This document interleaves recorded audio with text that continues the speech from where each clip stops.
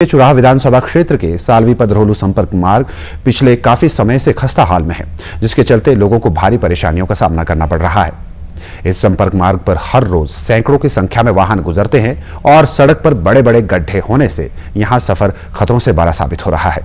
इस बारे में स्थानीय लोगों ने कई बार लोक निर्माण विभाग को अवगत भी कराया, लेकिन उनकी मांगों को अनसुना किया जा रहा है। अधिक जानकारी दे रहे हैं हमारे संवाददाता मंजूर मोहम्मद।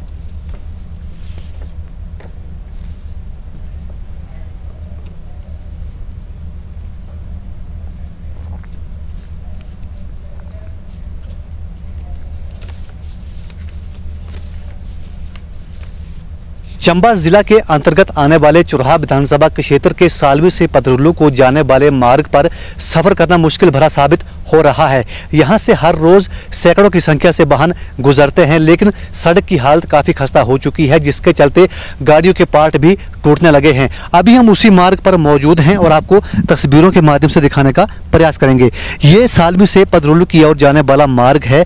इस मार्ग की हालत काफ़ी खस्ता हो चुकी है और यहाँ से हर रोज सैकड़ों की संख्या से वाहन गुजरते हैं और भावला पंचायत के सैकड़ों सवारियाँ यहाँ से सफ़र करती है। लेकिन अब गाड़ियों के पार्ट टूटने लगे हैं, जिसके चलते लोगों ने कई बार पीडब्ल्यूडी विभाग से मांग भी करी है, लेकिन पीडब्ल्यूडी विभाग इनकी ओर ध्यान नहीं दे रहा है, जिसके चलते लोगों की परेशानी दिन प्रतिदिन बढ़ती जा रही है।